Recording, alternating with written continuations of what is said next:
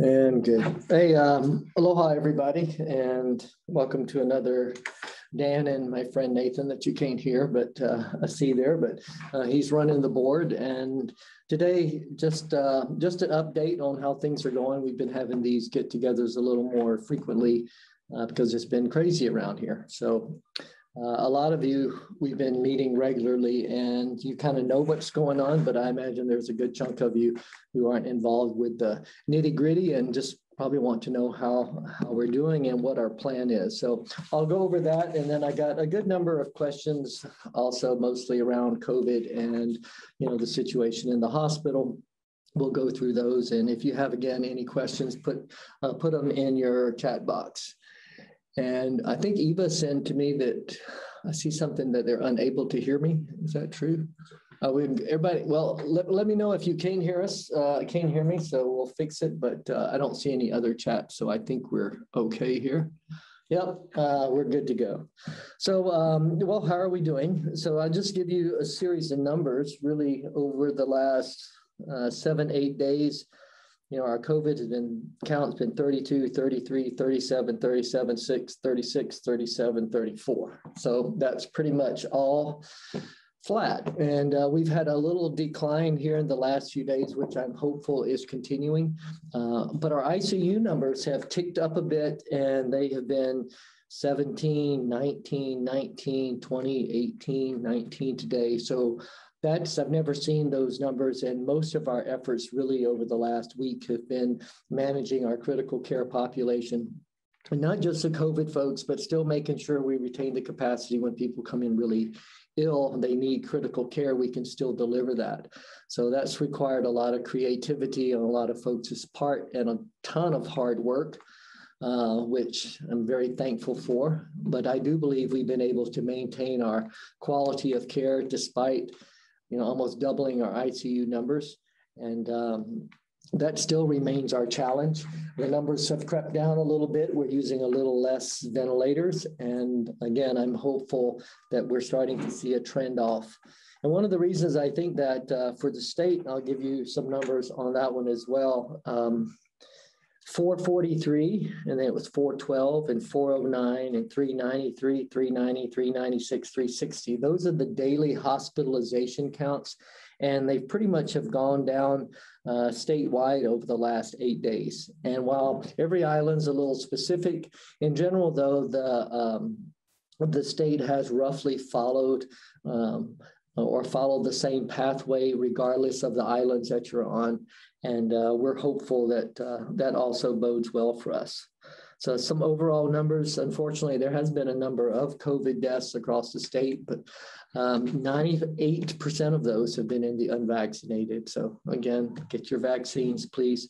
Um, we have had, though, about 15% of the vax of the hospital admissions have been people who have had a vaccine. Um, thankfully, uh, most of them uh, leave here, leave the hospital pretty intact and pretty quickly, and don't seem to be uh, have severe illness. But certainly, breakthrough infections, you know, with Delta, you know, have been an issue, and you guys are all aware of aware of it. I'm just so thankful that that wasn't the first variant that came through before we had a vaccine, or it would have been a really ugly story.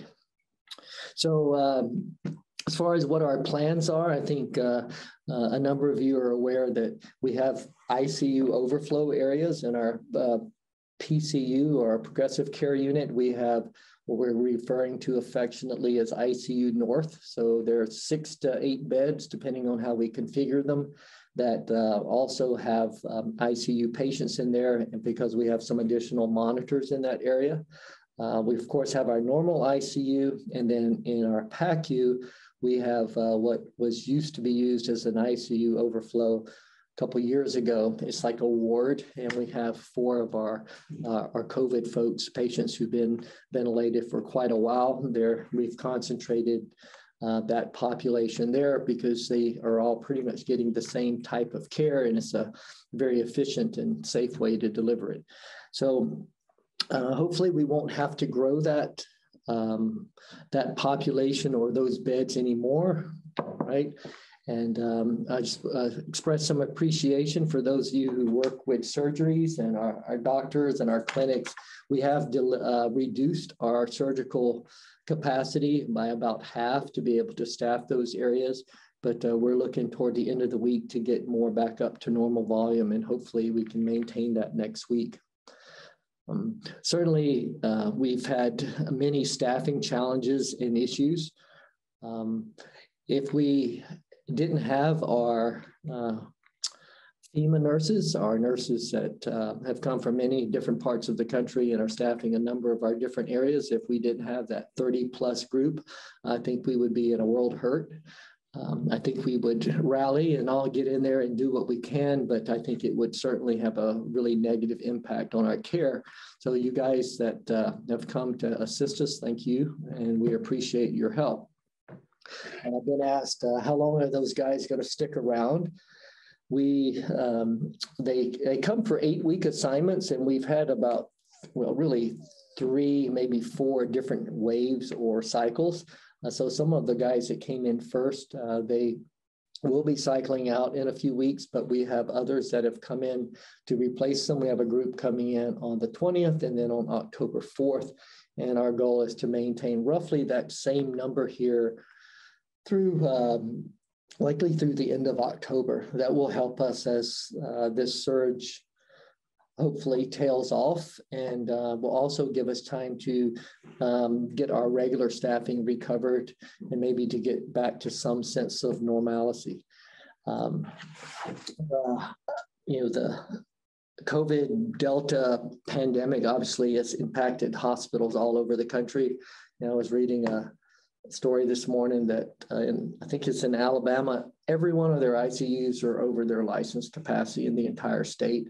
Uh, Florida, other places in the South have been hit tremendously hard, and then uh, pockets across the country, uh, you know, like in Hawaii and others, are uh, hospitals are very, very extended. It's made it difficult, certainly, for us to get um, additional I guess, contractor traveler help, which make up about 10 to 15% of our workforce in normal operations. So we're doing a lot of efforts to um, align up that assistance for uh, October, November. It's a competitive market out there for sure.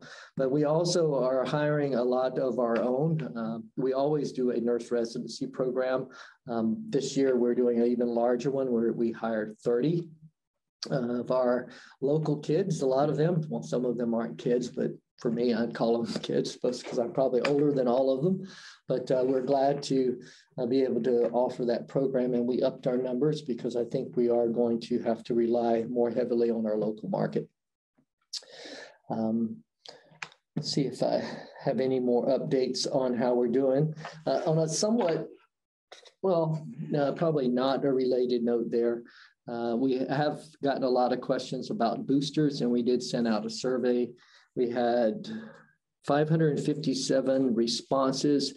Uh, so, and I'm assuming of those that all of the people who responded were vaccinated, because I doubt you would respond and say you were going to get a booster if you hadn't gotten your vaccine. But so 83% of you who've been vaccinated, uh, I guess, plan to get a booster.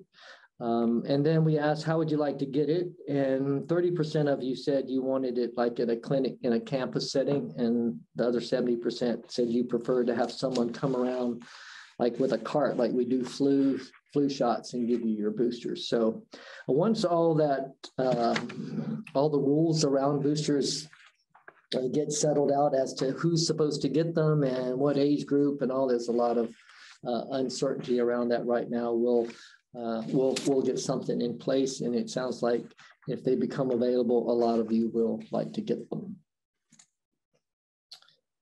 I think I covered everything on how we're doing. Let's see what we have up there in questions before I get to your written questions. Uh, how many staff opted out of the mRNA mandate? Uh, what's the plan to replace those workers when they are let go? So I had a lot of questions regarding vaccine mandates and what the impact will be. So I think I'll cover your question. Actually, I did get the actual question is how many, I believe what you're asking is unvaccinated. So we have around 1,500 employees in our various locations and affiliates and so forth, and 181 are not vaccinated at last count. That may have changed since testing requirements started uh, through the governor's order. Um, we've heard that some folks have decided they would just rather get vaccinated. So that number may have shrunk a little bit. All right, so I'll just get right into questions here. Uh, put some in the chat box if you want some clarifications. It says regarding mandated policy for those employees who elect to be unvaccinated. I think what they're saying is regarding the policy that people have to get vaccinated. Yes. It was said they are responsible for all testing costs if they decide to do so. Currently on the local news, they state per Hawaii law that the employer is responsible to incur the cost of testing and also for employers to be given time off to do the testing. Just need clarification on this topic. I'm sure this will have impact on the employer if that statement's true. So I asked Dawn to respond to that and I think we, from what I'm reading of her response, it came right out of the governor's proclamation. But it said employees are expected to use the free vaccination testing sites to fulfill the testing requirements since this option is available. Uh, employees who choose to not use the free testing sites will then have to bear the cost of the test since they are opting to not use them. Uh, employees can visit the County of Hawaii website for the community testing schedule. I think she added that in there. Um, employees who test during their regularly scheduled work hours may apply for sick leave in accordance with the applicable collective bargaining or provisions or executive orders as operations permit. Uh, employees who do not have available sick leave must be placed on leave in accordance with applicable collective bargaining provisions or executive orders. Now, a lot of um, detailed response here, and I'm glad um, Dawn gave that. But I think bluntly, um, when it comes down to testing, if uh, you decide to take advantage of the testing exemption, right, and instead of being vaccinated, um, you basically that's a choice by the employee, and if they can get um, um, free tests, then we certainly are glad to take those. However, if for some reason you cannot get it, you want us to provide it, uh, the employer, the employer, I believe, shouldn't bear the cost of that because again, it's an exemption that is voluntary on the part of the employee. You know, people ask me bluntly, is this, this designed to encourage people to get vaccinated? Absolutely all of these mandates and rules and OSHA requirements and all this stuff that's coming down is absolutely a public health objective to get people to get vaccinated. So I think people who, there's no need to sugarcoat it. The more of us to get vaccinated, we can put this thing behind us. And, you know, um, a lot of folks with some authority or whatnot are trying to encourage as much as possible, make it easy but also perhaps nowadays, as I think our president said, make it a little more difficult to not be vaccinated. So um, we'll talk a little bit more about that in the questions. Uh, is there a date that HR labor will have all exemption requests reviewed by? So um, HR labor department will begin this process once you get all the exemption requests in and they are all due by September 21. Um, determination letters will be issued to employees no later than October 5th. So uh, they have to get them in by the 21st for religious or medical exemptions. Uh, then I had some also some questions regarding um, exposure, uh, well, regarding COVID-19 and if patients, well, I'll just read the question. When an employee is exposed to COVID 19 by a positive person, person, patient, or other employee at work, why is the employee not tested through the entire incubation period? So Chad answered these for me. Uh, he said, per CDC, you're supposed to get tested three to five days after exposure to someone with suspected or confirmed COVID 19, wear a mask in public indoor settings for 14 days after exposure or until they receive a negative test result. Most fully vaccinated people with no COVID like symptoms do not need to quarantine or be restricted from work following an exposure to someone with suspected or confirmed COVID 19 if they follow the testing and masking recommendations below, above.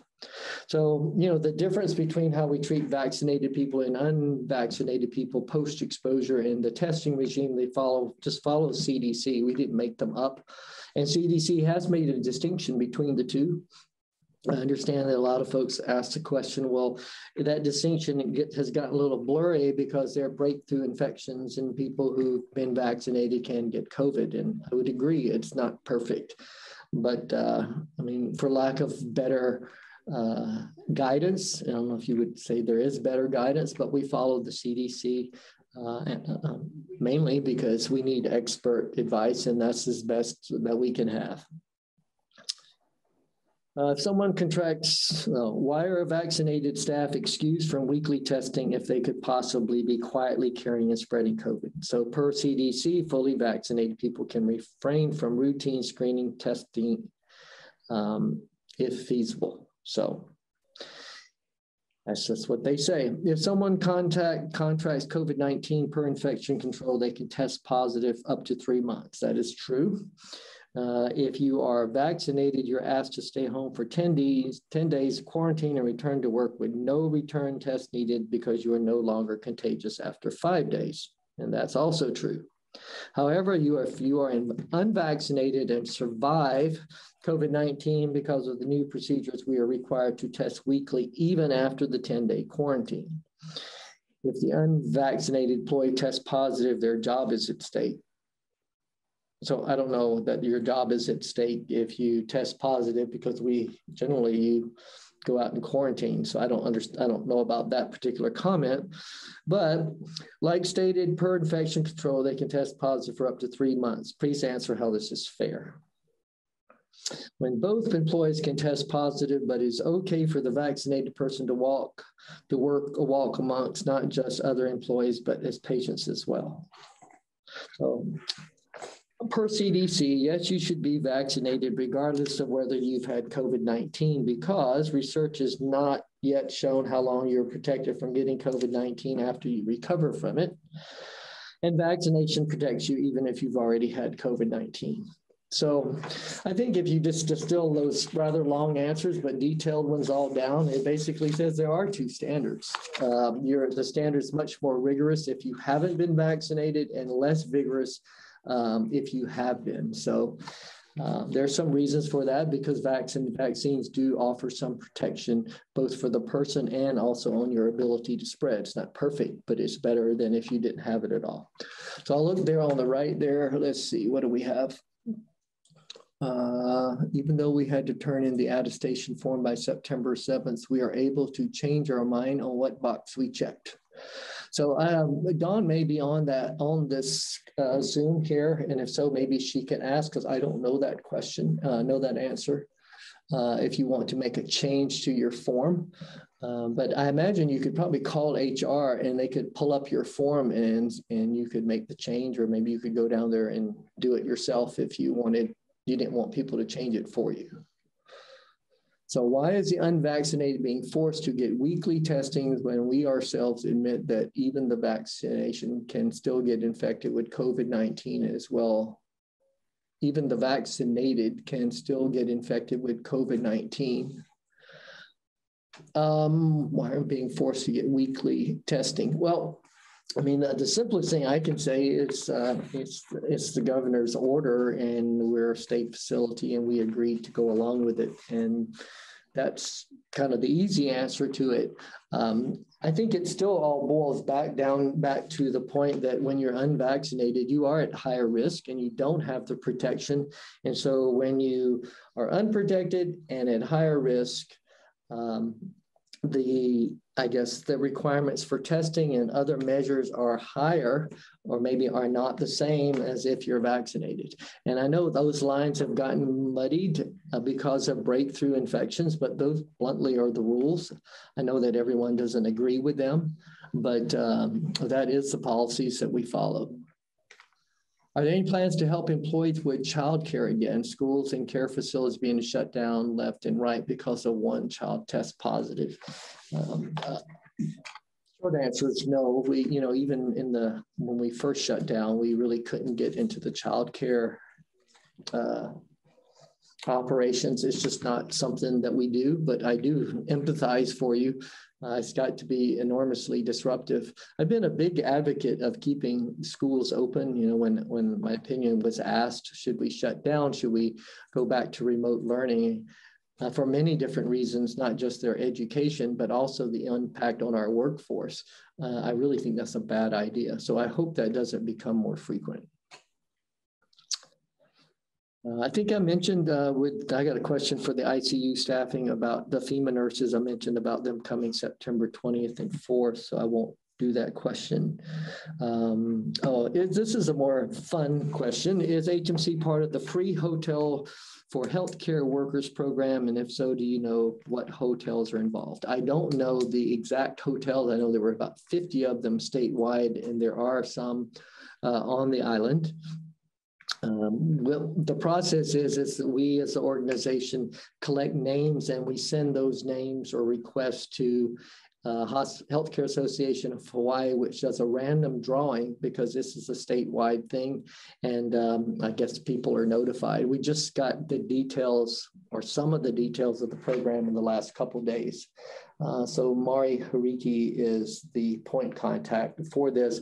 We are uh, triaging though to direct patient care staff. I know everyone has chipped in here, but by um, uh, by far the toughest burden has followed on our nurses and our aides and our support staff that care for patients at the bedside, includes our physicians as well. So we would encourage you guys to self triage and unless, you know, unless you've been there in the thick of it here in the last uh, few weeks to, um, you know, limit your requests. Uh, I think that is certainly intended as a thank you for individuals who have really put themselves out there. Uh, of all the patients we have on ventilators, how many of these patients are vaccinated? So currently of our nine, we have nine patients right now on vents, uh, all are unvaccinated. And certainly we've had more, I didn't ask for the data going back for months, but today we have uh, nine folks who are um, COVID positive and on ventilators and every one of them are unvaccinated. Um, let's see. I already did the testing cost one. Uh, let's see.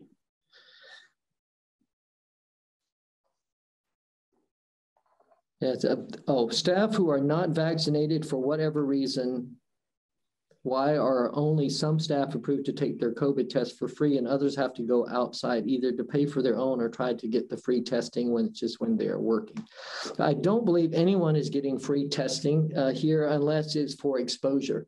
So if you were involved in an exposure and you happen to get tested that week and um, you are unvaccinated and have to meet the requirement, we're not going to make you go out and get another test. But you're not getting a free one because we're just, you know, being nice to you. Um, it uh, you just happen to have a test result from, you know, exposure that we felt should be followed up with. So I don't believe anyone is getting a free test uh, from us. Uh, you're supposed to go to the free sites to be able to do that. If that's occurred, I think it's an anomaly. Um, I got a, a kind of a statement more than a question uh, about some staffing uh, issues at Ka`u. And for those of you who put that in, I'm not going to read your long question, but I did refer that to um, you know the management team there, and I hope they can answer your questions.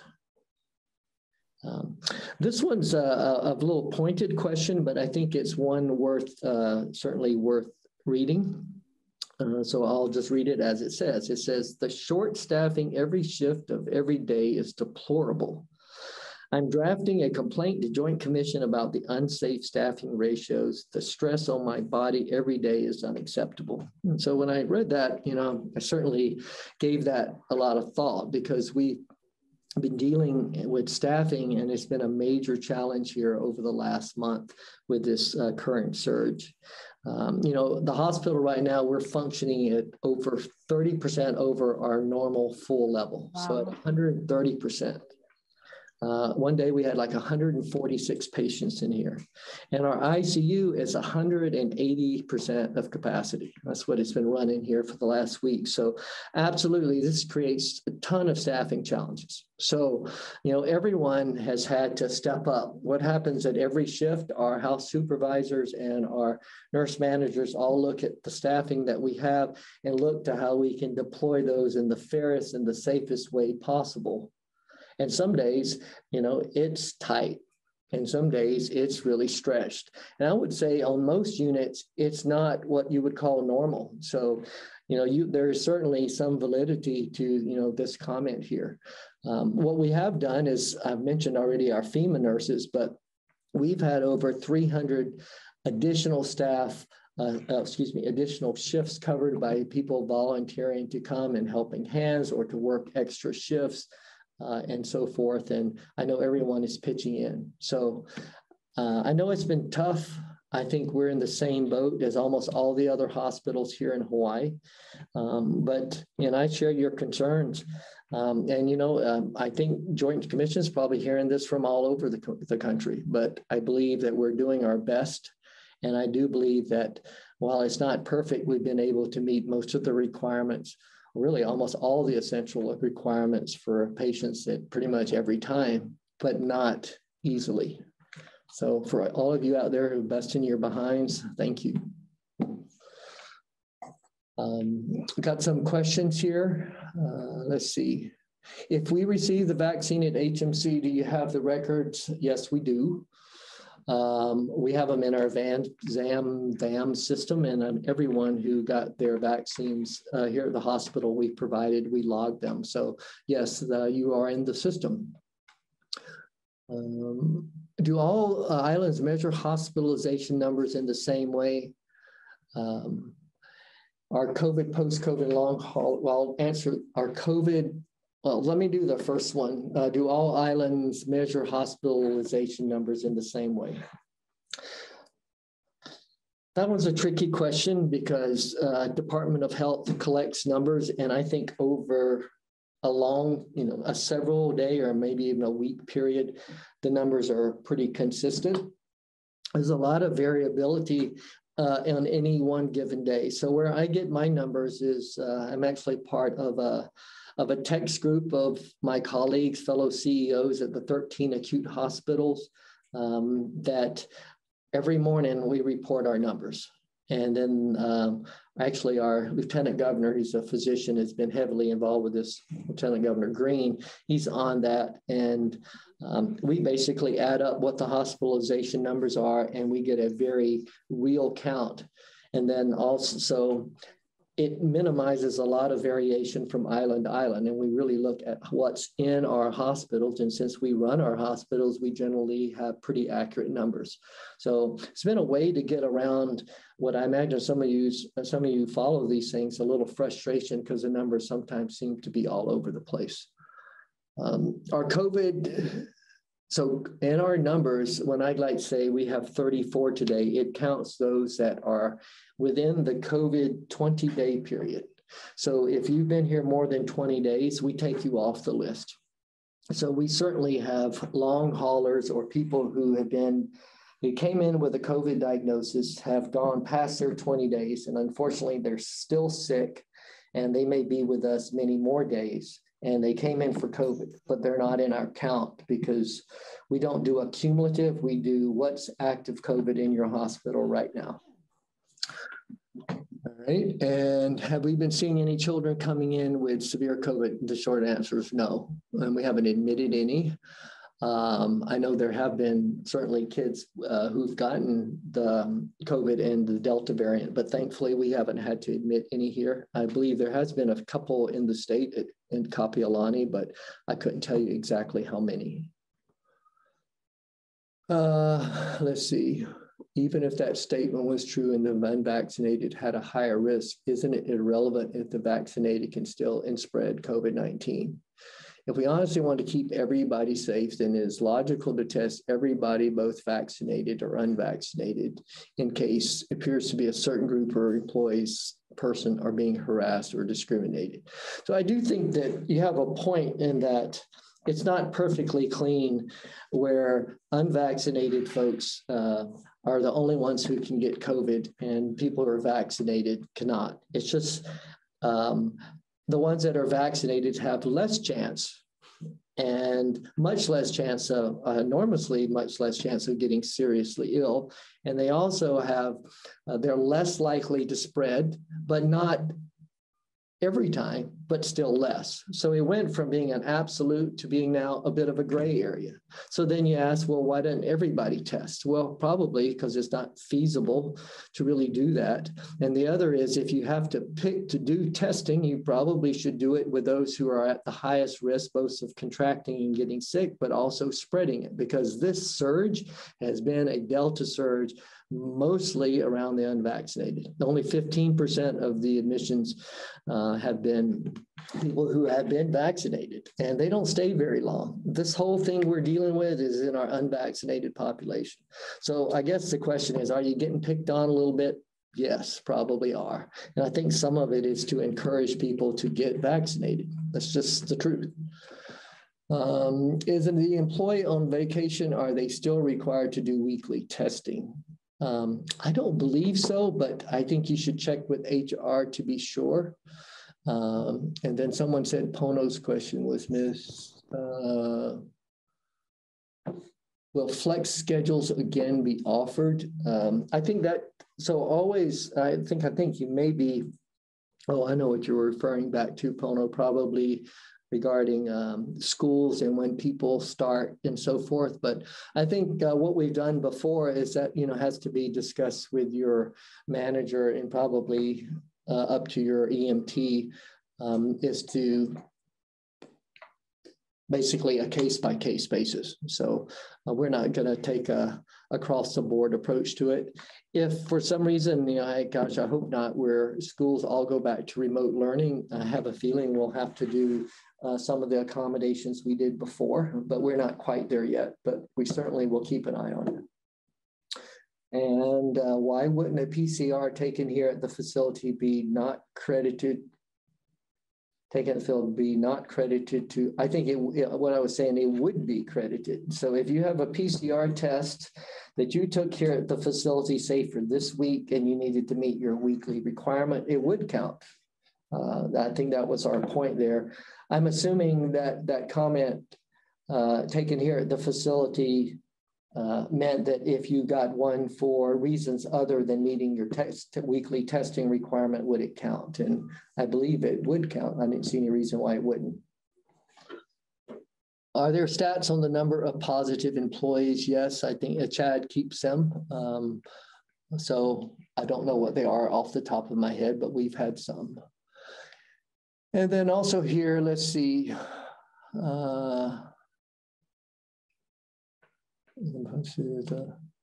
so I think this is a comment here on, I won't read the whole thing, but on extended care and we have ECD North open. And I know that there's been um, thoughts of how we gain access. We don't want to be going through the facility uh, unnecessarily, but we also don't want to uh, um, be out in the rain. So I know we are looking at access on this. So I'll just tell you, we'll we'll we'll see if we can figure out something better. Uh, there are many studies showing out now out showing that natural immunity to COVID is at least as protective as mRNA. Why isn't this being discussed? So again, this kind of goes back to we follow what the CDC and the latest guidance is on this. And I know there's controversy out there that um, some people say that natural immunity is the same, and but I think what Chad has told us from our research and the research he's done is really not established how long that natural immunity lasts.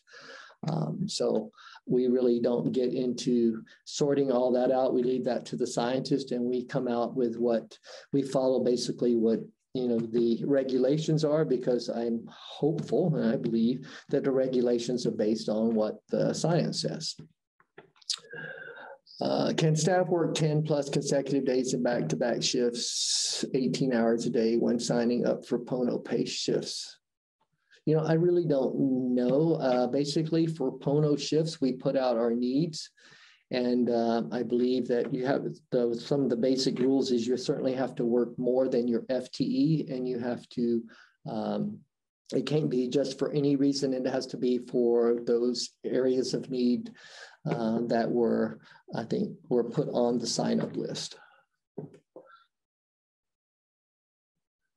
One of them, uh, our administration executive said it won't be credited to the employee's weekly testing. So I'll take it that he or she wasn't accurately briefed about this topic. Um, that's always possible. It could be that they made a mistake or they didn't understand your question, or I don't know, because this, I'm just hearing you recount this. But again, uh, our goal, if, if you've had a test during the weekly period for, you know, whatever reason, and it's a valid PCR, we certainly are going to count that test. There's be no reason for you to turn around and take the exact same test the next day just to quote make you pay for it. But please call HR the, uh, and employee health and they'll clarify that for you. It's not our intent to be jerks about it. All right. Uh, okay, still have a few more questions. Sorry for making this. Uh, Oh, well, we have one more there. Are there opportunities for clerks to do overtime? Um, I'm not sure. I don't think that on our sign up list that we were looking for uh, support staff there. Uh, most of it was directed toward uh, direct patient care staff because certainly that's been uh, the area that we were short in. And it says staff are working 18 hours a day for 10 plus days. Uh, for 10 plus days, other staff are making that is not good. I would agree that 18 hours a day for 10 in a row is is much. I think I've worked some long stretches, but 18 hours is a whole lot. It doesn't give you a lot of time for sleep. I think what should happen there is that you know the manager of that unit should be aware and make the assessment of the individual and check with them and make sure that they are um, you know able to do their job well some people have more stamina than others but that does seem to be a whole lot uh, it's a good point still have a few more here. We're getting to questions a lot of interest in the stuff that's going on. Um,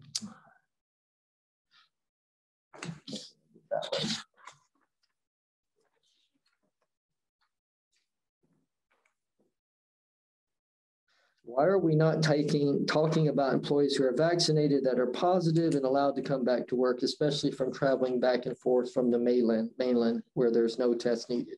So uh, ask Chad to look into this. He's not aware of any vaccinated employees who are COVID positive allowed to work without first completing the 10-day isolation period. It is true that no test is needed for fully vaccinated uh, people traveling to and from the mainland, um, but there, so I answered that one. So with President Biden's executive order, will he or she that he will or he did sign, does it change anything with the HHSC employee mandatory vaccinations? So that's a really good question. So President Biden, I think a few days ago, um, he came out with his intent to make um, for all healthcare workers, well, excuse me, for healthcare workers that work in any healthcare facility that takes federal uh, money, so Medicare or Medicaid, which really is about every every healthcare facility, those workers would have to be fully vaccinated uh, without uh, the testing exemption.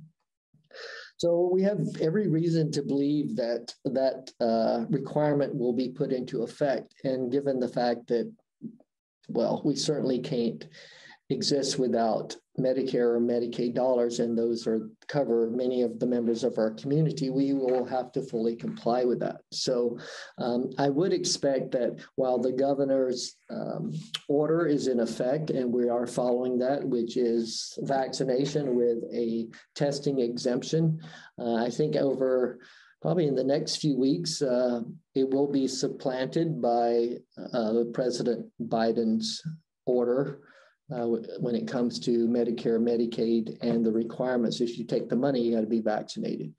Um, I think what's going to be challenging for a lot of individuals who you know are concerned about that that covers pretty much the t- entire healthcare industry. I know there's some you know lawsuits and others that are planned, but there's actually quite a bit of established case law that allows this. And if I would imagine every one of you that got a job here in almost any healthcare facility have had to have some level of vaccinations um, because I, I've worked in healthcare for 25 years now, and every employer I've worked at, from nursing homes to hospitals and all, had to see my shot records and required me to have certain numbers of vaccines, uh, whether it's Hep B or, you know, or measles, rubella, whatever. So that's been well established as a reasonable requirement of employment, and so I don't. the most of what I'm hearing and reading is I doubt that uh, that requirement will be somehow considered unconstitutional. So I think, especially with Delta's recurrence here and the fact that we were all getting our behinds kicked again, um, has really reduced the tolerance for ignoring that lovely tool called vaccines. So uh, I think if we're going to stay in healthcare, most of you may want to consider getting vaccinated. Uh, there was a question about uh, a temporary COVID clinic in the parking lot, but uh, that it would be, I think it was referring to our plan to do the monoclonal antibody or Regeneron clinic and offer that service. And we were going to utilize the space across in the ground conference room. Uh, I'm not completely up on the actual flow of the patients, but I believe we still are planning to have those patients come in uh, and have a controlled access. You know, they can come down the back stair or go up, and if they need um, uh, to use the elevator, they'd be escorted. So we won't have them, as you would say, kind of wandering around the hospital. So I know there's a lot of attention being paid to um, reducing exposure and controlling access to the Regeneron clinic. I'm really reluctant to put up the tent because I don't think that um, it's frankly a very inefficient way to utilize space and what our biggest shortage is, which is staffing. We're almost to the end here, uh, running a little long.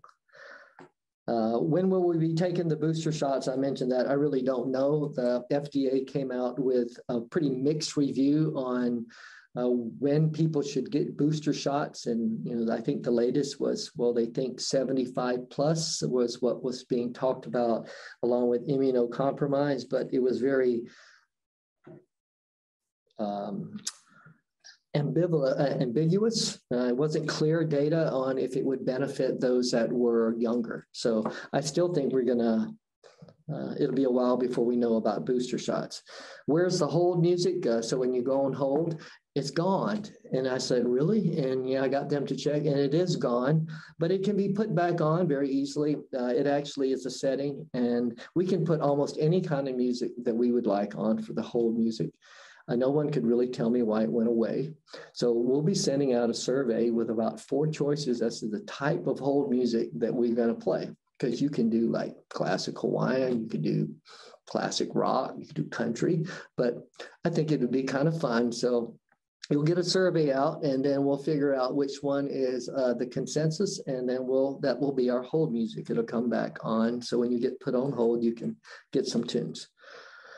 Um, why can't we tell patients they may not come into the hospital unless they are vaccinated like the visitors? And then there's kind of a long little bit of a I don't know, maybe a little bit of a rant why we should do that. But bluntly, patients aren't voluntary. You know, they come here because they have to have the care versus visitors. If you're not vaccinated, you know, you don't have to come visit. So it's a little difference in prioritization. And then, of course, our patients are, are our mission. We care for them regardless. You know, uh, we don't really get into why you're sick or why you were in that accident or why you I don't know, did that stupid thing and hit your head, uh, we pretty much just take care of you. And I think that applies also to vaccines. Uh, let's see. Um, are they planning on shutting down visitors due to the influx of COVID patients in the other units? Um, so no, we're not. Uh, we've gone through a month of really our worst outbreak with a controlled visitation process and screeners at the front and requiring vaccinated visitors. And so I think we're going to stick with that. I don't have any plans to change that one. And can we get the booster at HR if we're not at work the day they come around with a cart? I think, well, yes, we will try to work into something where people can, uh, if they don't see the cart and we don't have the special clinic open, we'll have an access point where you can get the booster. we may even, well, it depends on what the demand it is, art to, uh, you may be possible to just dip in there and get one too.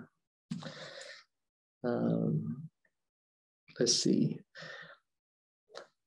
I thought this was, you know, worth uh, um, reading here, even though it was a little bit of a perhaps of a venting session, but uh, but I understand that it's about our ECD. You guys have had to make a lot of accommodations here in the last a couple of weeks with us opening ECD North. But you said, why is ECD the redheaded stepchild of HMC? We aren't on the logo. So um, I don't really think that ECD is the redheaded step stepchild. It is uh, a department, though, of Hilo Medical Center, and it's been a department for years. Remember, we used to have the old um, SNF Med Surg up in the main hospital, right? And that was another department. So the reason you aren't on the logo is because Hilo Medical Center is your logo. Um, there are some questions here about, you know, how we staff there and so forth and care for our respiratory patients, but I'll pass those on to your manager and we can uh, take a look at your concerns. Uh, will booster shots be mandated at BHMC? The answer is no. Uh, do we need to still take the flu shot if COVID vaccinated? Uh, yes, I would highly recommend it. We never made that mandatory. Uh, we just incentivized it, and uh, we would strongly encourage you to get the flu shot. Remember, the coronavirus and the influenza virus are two different. They're like cousins, but they're distinct cousins. They're not first cousins. They're like third cousins, and yes, you need protections from both. Um, Let's see. Why would you make staff pay for testing if not vaccinated? Wouldn't that make short staffing more a problem? I would think we pretty much covered that one. Um, staff who have had two shot vaccines and got COVID, will they need to take a booster? That's an interesting question if you, I would imagine, had a breakthrough infection, would you need to take the booster? That is a good question. I don't really know, um, but I'll try to look into that and see if there are some of the studies out there that have made um, have looked into that. And then the last one, this actually came up last time. I forgot to get to it. Uh, I'm sorry. And then you put it in again. So thank you. But the question was uh, the upper parking lot, could we move to zone parking? I think this was someone who works in either BH or the quality or the, uh, you know, the modular building or the west wing and said, well, you know, it's very central parking to us. Could we get stickers that let us park there and go to a zone parking kind of system? Um, and the short answer is I really don't think we can do that. Uh, we haven't done that in the past. But you know that upper parking is also pretty central to most everyone who worked in the acute hospital itself. Uh, it certainly is closer than some of the locations across the street. So really everyone would probably want to have that zone. So I think once we go down that road, it becomes very difficult to manage. So uh, there's no plans for that, but thank you for your question. And let's see. Are we cut? Are we cutting visitors' hours down from 3 p.m. to 7 p.m. again? I don't.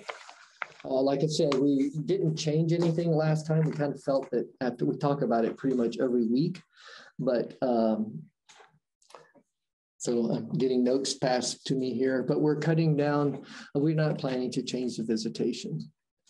Um, it's a Pfizer vaccine we have available from available here in Hawaii, FDA approved or still under EUA. Um, so the Pfizer vaccine, thank you, and the Moderna, va- no, Pfizer vaccine was approved by the FDA, I think August 30th, roughly. I know it was in August before Labor Day. So it is fully FDA approved. Um, so um, I don't really never heard the FDA approved version. It's called Comirnaty and is not available to the public. Um, that's a new one to me, uh, but um, I know the FDA did approve the Pfizer BioNTech vaccine. Uh,